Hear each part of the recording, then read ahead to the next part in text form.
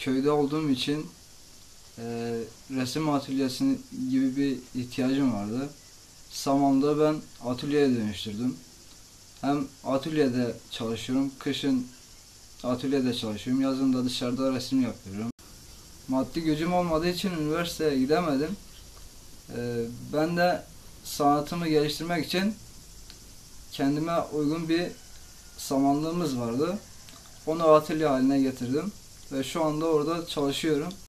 Hayırsever iş adamlarından ve yetkili kişilerden yardım, yardım bekliyorum. E, yardım eğer ederlerse bu sanatı geliştirmek istiyorum. Televizyonda gördüğüm ünlüleri istek üzerine tablolarını yapmak istiyorum. Yap, e, yapıyorum yani. Tek hayalim resim sergisi açmak. E, yaptığım sanatı yaymak istiyorum. Şu üç boyutlu bir çalışmadır.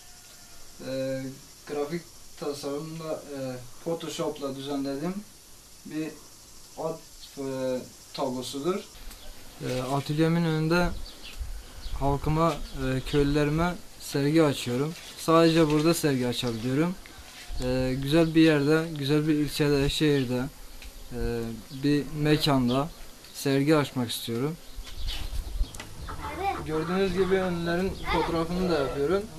E, sevdiğim bir bakan fotoğrafını, yap- tablosunu yaptım. E, kabul ederse kendisine hediye etmek istiyorum.